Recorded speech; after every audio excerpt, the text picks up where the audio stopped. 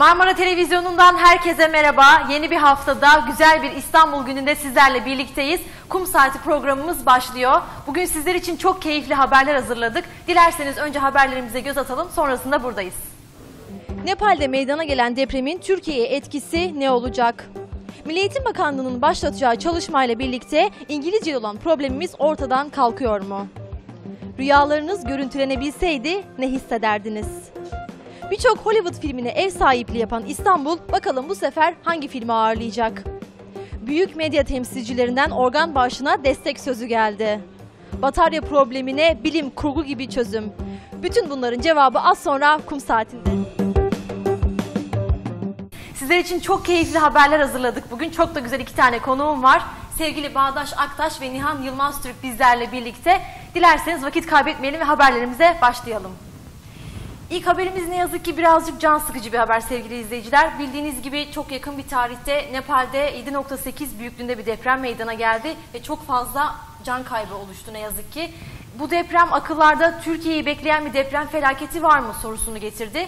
Bu konuyla ilgili yapılan bir açıklama var. Açıklamanın detaylarını da Bağdaş bizlerle paylaşacak. Teşekkürler Beyza'cığım. E, bu açıklama İTÜ Maden Fakültesi'nin emekli öğretim görevlisi Profesör Doktor Naci Görür tarafından yapıldı. E, İstanbul'da en az 7.2 büyüklüğünde bir deprem bekleniyor. E, Adalar, Kartal bölgesi veya e, Avcılar bölgesinde özellikle olması muhtemel. Şimdi Türkiye'de zaten yıllardır biz bahsediyoruz. Yani hep Sürekli konuşulan sürekli bir şey. konuşulan bir şey. İstanbul'u sürekli işte büyük bir deprem bekliyor. büyük- Büyük bir deprem bekliyor. Ee, sürekli bahsettiğimiz bir şey İstanbul'u büyük bir deprem beklediğini her zaman söylüyoruz ama hep bunu böyle bir yani gelmeyecek bir tarih zannediyoruz. Uzak bir gelecek zannediyoruz. Halbuki deprem Türkiye'nin gerçeği ve e, çok yakın bir tarihte olduğunu biz burada Nepal depreminin de olası Türkiye depremine bir haberci olduğunu buradan biliyoruz. Şimdi biz depremle ilgili biliyoruz depremin olduğunu ama önlem alıyor muyuz? Almıyoruz yeterli. Önlem yeteri kadar almıyoruz ve yeteri hızda almıyoruz. Yani binaların özellikle İstanbul'da sağlamlaştırılması gerekiyor. Ancak e, bazı kamu binalarında, hastanelerde, okullarda sağlamlaştırma, yeniden inşaat projelerine gidildi ama esas mahallelerde yani nüfusun esas olduğu yerlerde binaları sağlamlaştırırken kentsel dönüşüm mantığıyla e, sağlamlaştırmaya çalışıyoruz ve kentsel dönüşümde de yıktığımız semte özür diliyorum yıktığımız semte yık- yıktığımız mahalleye lüks konutlar inşa ederek bu sağlamlaştırmaya gitmeye çalışıyoruz. E, tabii doğal olarak lüks konutlara yöneldiğimiz için son derece yavaş ilerliyoruz. Çünkü lüks konutlar üretecek yeterince kaynak bulamıyoruz. Yani bu kentsel dönüşümün bu mantığından vazgeçmek durumundayız. Kesinlikle ben böyle olduğunu düşünüyorum. Bir diğer alan mesela e, İstanbul'da şeye ihtiyaç var. Olası bir depremde insanların toplanacağı alanlara ihtiyaç var. Boş, çok büyük boş arsalar bırakılmış olması gerekiyor ki bu kadar insanın yaşadığı, bu kadar kalabalık bir metropol deprem esnasında sığınacak yeri olsun. Ben yani çevremde hiç boş arsa göremiyorum İstanbul'da. Hiçbir semtte dep- olası bir depremde insanların toplanabileceği yeterli al- alan bırakılmış durumda değil. Yıllar öncesinden beri bahsediliyordu işte Türkiye'de e, daha önceden depremle ilgili İstanbul'da boş olanlar yaratıldığıyla ilgili. O boş olanlar ne oldu? Yani yaratılan şu an alışveriş merkezleri oralarda mı yükseldi? Yani ne, ne olduğunu bilmiyorum tam olarak ama çok ciddi problemlerimiz var. Ve bunu hani uzak gelecekte değil de yarın olacak, yarın olacakmışçasına hızlı bir şekilde radikal adımlarla bu tedbirlerimizi almamız gerektiğini düşünüyorum ben. Evet, ben birçok doğal afet için şunu söyleyebilirim Bağdaş.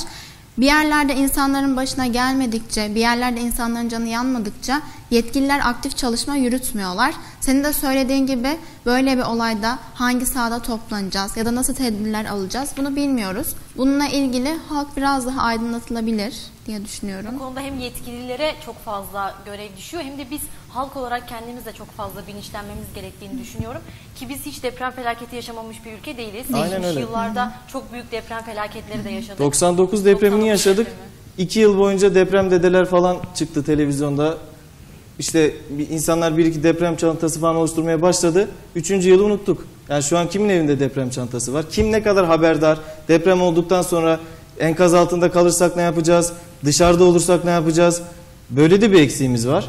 Yani bunun depremin uzak bir gelecekte olmadığını bilerek daha tedbirli olmamız gerektiğini Evet, düşünüyorum. Kesinlikle bu konuda daha fazla bilinçlenmeliyiz sevgili izleyiciler. Biz de bu haberimizi e, paylaşmış olarak sizleri en azından bu konuda biraz daha e, uyarmış olalım. Tedbirlerimizi bir an önce alalım diyorum ve bir diğer haberimize geçiyorum. Bir diğer haberimiz e, Milli Eğitim Bakanlığı'nın başlattığı bir çalışmayla ilgili ve bizim e, yıllar boyunca çözemediğimiz İngilizce problemimizle ilgili bir çalışma başlatmış. Nedir bu çalışma Nihan? Milli Eğitim Bakanlığı sonunda bunun farkına vardı sanırım Beyza. İngilizce gramerle öğrenilmez diyerek yola çıkıyorlar. Milli Eğitim Bakanlığı Müdür Yardımcısı Funda Kocabıyık bu konuyla ilgili ciddi bir çalışma yürütüyor ve 2016 müfredatına bunu yansıtacak. 5. sınıflarda toplam 36 saat ders görülürken bunun 16-20 saat arası İngilizceye ağırlık verilecek ve bu konuşmaya yönelik olacak. Günlük hayatta insanlarla iletişim kurma becerileri geliştirilecek.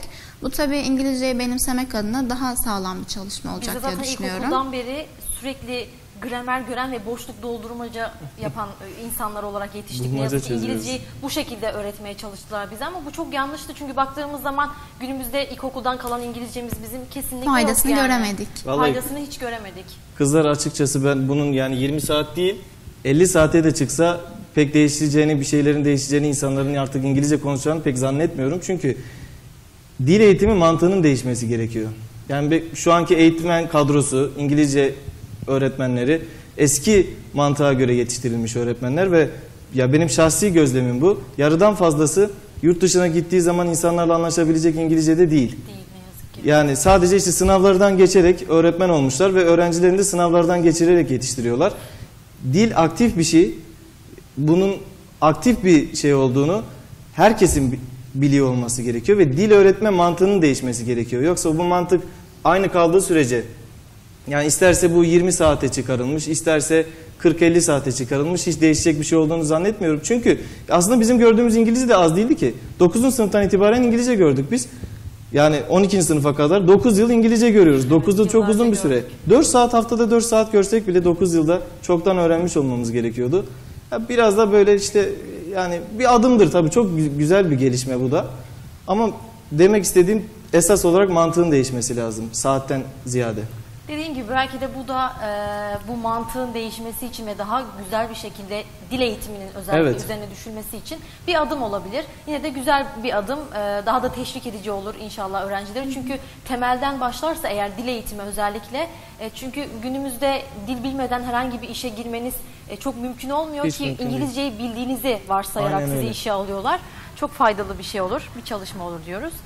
Bir diğer haberimize geçelim dilerseniz. Teknolojinin hızına hiçbirimiz yetişemiyoruz bildiğiniz gibi. Ee, yine çok e, ilginç bir çalışma yapılmış. Bilgisayarlar artık rüyaları da görüntüleyebilecekmiş. Doğrusu haberin içeriğini merak ettim. Hemen o zaman haberin içeriğini paylaşıyorum. Ee, Bilkent Üniversitesi'nin yaptığı bir araştırma bu. Ee, rüyada hayal sırasında ya da uyanıkken e, beynimizde görülen nesneleri bir şekilde bilgisayar ortamına aktarıp orada görüntüleyebilecek bir çalışma bu. Ee, Bilkent Üniversitesi yardımcı doçent doktor Tolga Çukur bu projeyi akıl okuma diye adlandırıyor. Ee, aslında bu bizim e, imkansız olarak e, tanımladığımız bir şeydi aynı zamanda. Hatta kendi aramızda bunu konuşmasını da çoğu zaman yapmışızdır. Bunu söylediğinde ilk başta güzel gibi gelse de bunun avantajları da var.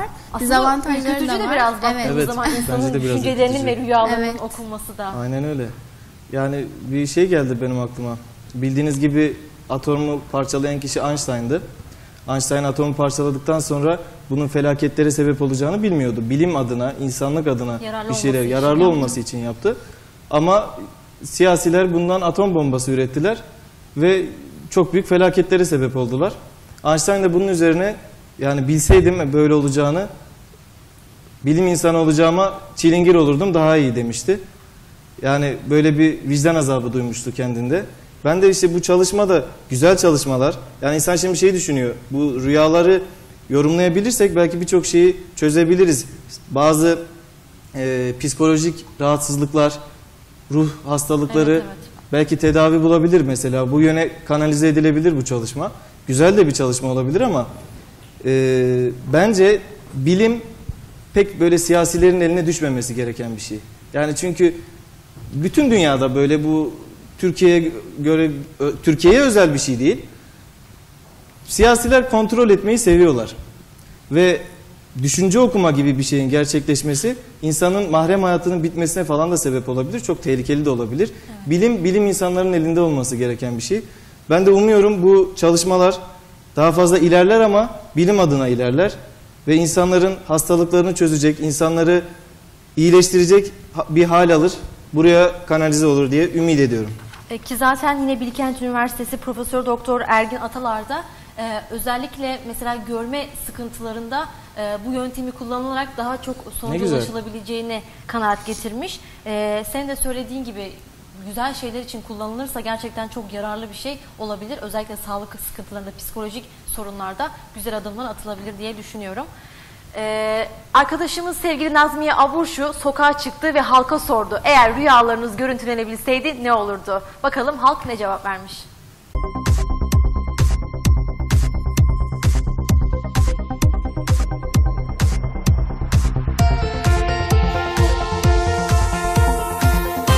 Evet Beyza, bir mikrofon sokakta ile daha karşınızdayız. Rüyaların görüntülenmesiyle ilgili bakalım halkımız ne diyor? Haydi başlayalım. Merhaba, Bilkent Üniversitesi'nin yaptığı bir araştırmaya göre rüyalar artık bilgisayarda görüntülenebiliyormuş. Bunu ister miydiniz? Tabii ki de isterim. Ee, sabah kalktığım zaman rüyamı hatırlamayı çok isterdim. Hani bu sayede daha kolay rüya tabirlerine bakabilirim. Bu tarz hani konuşmalar her zaman aile içinde de döner zaten. Neden olmasın? Bilkent Üniversitesi'nin yaptığı bir araştırmaya göre rüyalarımız artık bilgisayarda görüntülenebiliyormuş. Siz böyle bir şey ister misiniz? Böyle bir şeyin olacağına inanmadığım için istemiyorum. Çalışmalar var fakat olumlu ve olumsuz tarafları nedir sizce? Ne olur? Tam sistem kapitalist sistemin insanları uyutma aracı olarak sunduğu başka bir oyuncak. Yani enteresan bir teknoloji tabii bunun yapılabiliyor olması ama ben kesinlikle istemezdim. Çünkü hani rüyalar aslında insanın en özel yeri gibi. Kimsenin bilemeyeceği, kendinin bile çoğu zaman anlam veremediği ve bu çok kötüye kullanılabilecek bir şey. O yüzden ben kesinlikle böyle bir şeyin olmasını istemezdim. Peki bunun hiç olumlu yanı yok mudur sizce? Yani olumlu yanı olabilir. Yani kişinin kendisi için bu rüyaların görülüp analiz edilmesi belki uzman kişiler tarafından kişinin psikolojik olarak birçok probleminin veya bilinçaltında kalıplaşmış birçok şeyin çözülmesi açısından önemli bir şey. Ama ben insanların bunu asla bu kadar iyi niyetli bir şekilde kullanacaklarına inanmıyorum. Vallahi bir şey diyemem. Rüya rüyadır işte ne olacak? Sen ne düşünüyorsun? Ya rüyalar rüyalar bazen gerçek de oluyor. Mesela gördün mü ilk kalpli olduğun zaman mesela rüyaların gerçek de oluyor.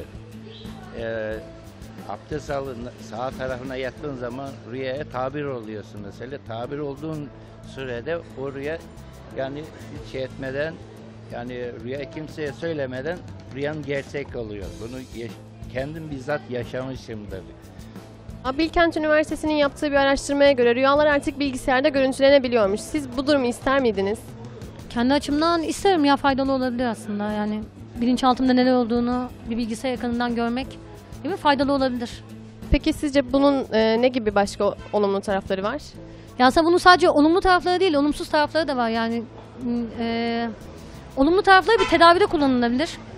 Çünkü bilinçaltımıza ittiğimiz, hani sürekli ötelediğimiz düşünceler ortaya çıkabilir ve bunu bir tedavi olarak kullanabilirler. Olumsuz tarafları da olabilir. Çünkü öyle bir dünyada yaşıyoruz ki artık her şeyin e, bir e, savaşa dönüştüğü bir dünyadayız. Hani bunu da kullanabilirler diye düşünüyorum. Yani devletin eline düşerse çok tehlikeli olacak bir şeyler bu bence.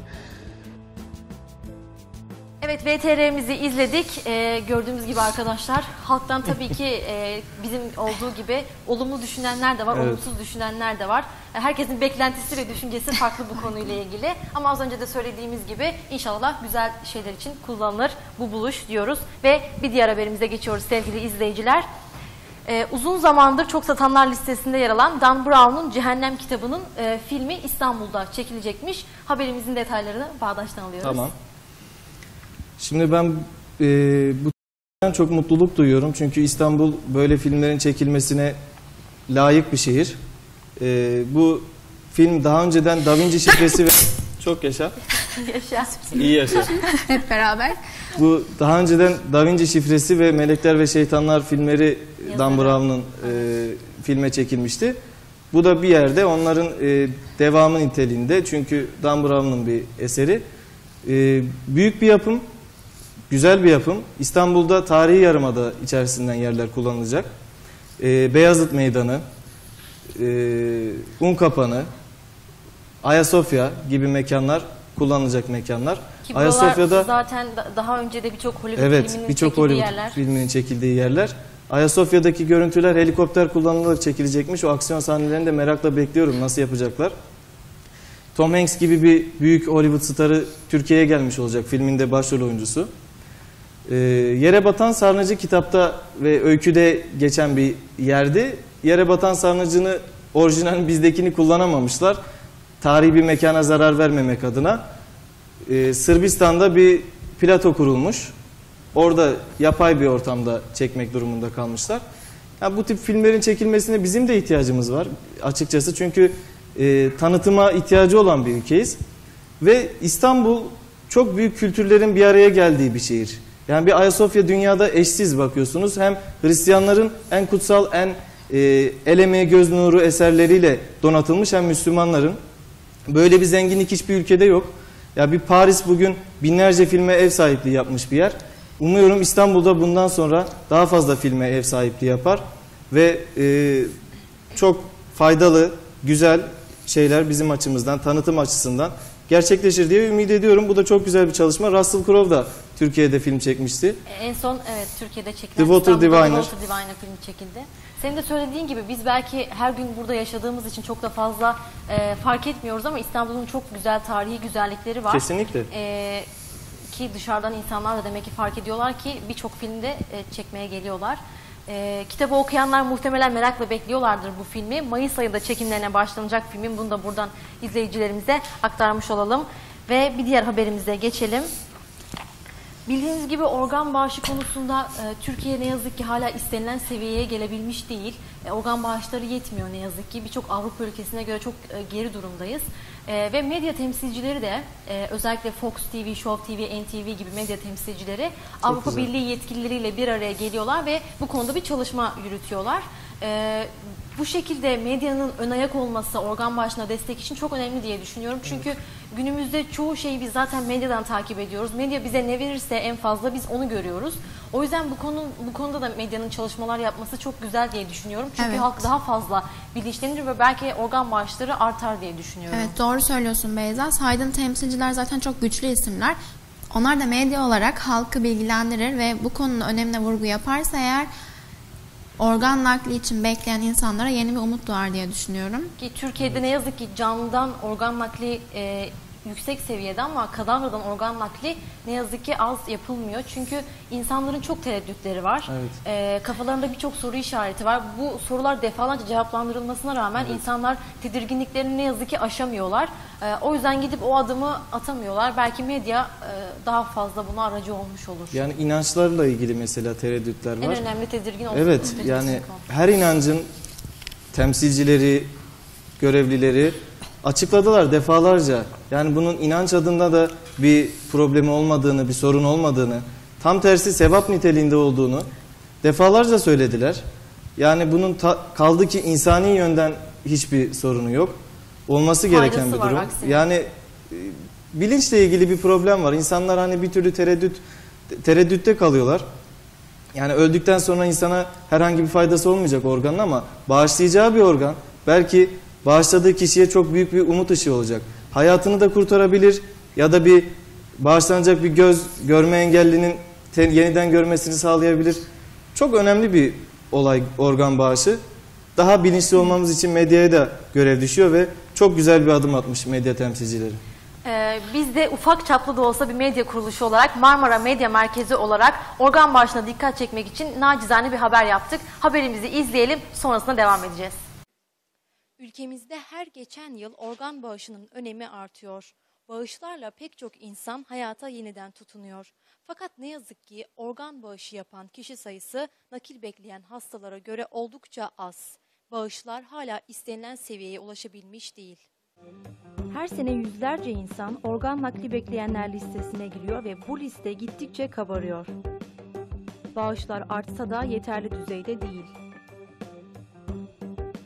Sağlık Bakanlığı 2014 verilerine göre 21.772 kişi böbrek, 2.125 kişi karaciğer, 249 kişi pankreas, 39 kişi akciğer nakli olmak için sırada bekliyor. Yapılacak her bağış yeni bir umut, yeni bir hayat demek. E, her Gerçekten hepimizin ihtiyacı olabilir çünkü organa. Ölüp gittikten sonra çürüyüp gidecek nasıl olsa. Hiç değilse birisinin işine yarar. Dini açıdan sakıncalı mı değilim o yüzden ama ileride belki düşünürüm. Daha çok kampanya yapılması lazım. Daha çok ikna edici e, şeyler, haberler yapılması lazım. Böyle haberler falan. İnsanları vurgulamak lazım. Ama hiçbir zaman insan o duruma geleceğini düşünmüyor. Bir türlü o gidip de cesaret edip de imzayı atamıyorsun. Ama atacağım onu. Peki hangi organ ve dokuların nakli söz konusu? Yukarıdan aşağı başlayalım isterseniz. Kornea, e, trakea dediğimiz nefes borusu, akciğer, kalp, e, pankreas, karaciğer, böbrekler, kemik iliği, ince bağırsak, e, kalp kapakçığı var. Şimdi işte son yıllarda siz de takip ediyorsunuz yüz nakilleri, e, ekstremite nakil, kol bacak nakilleri gibi nakiller de yapılabiliyor. Organ dediğimiz şey de sentetik olarak laboratuvarlarda üretilmiyor. Ancak kaynağı insan. Kimler organ bulunabilir? organ bağışçısı olma niyetini eee, 18 yaşını doldurmuş her vatandaşımız bildirebilir. Bununla ilgili kart, form, eee, bilgisayar kaydı gibi işlemler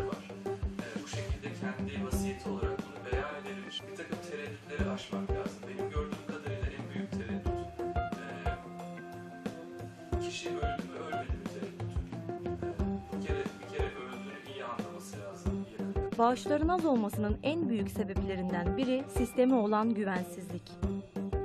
Burada belki de en son söyleyeceğim en belki de geçerli sisteme olan güvensizlik. Organ bağışında bulunmak içinse yapılacak şey basit. Herhangi bir sağlık kuruluşuna gidip e, organ bağışçısı kartını alabilir. Bu şekilde Sağlık Bakanlığı'nın sistemine de organ bağışçısı olarak kaydedilir. Aslında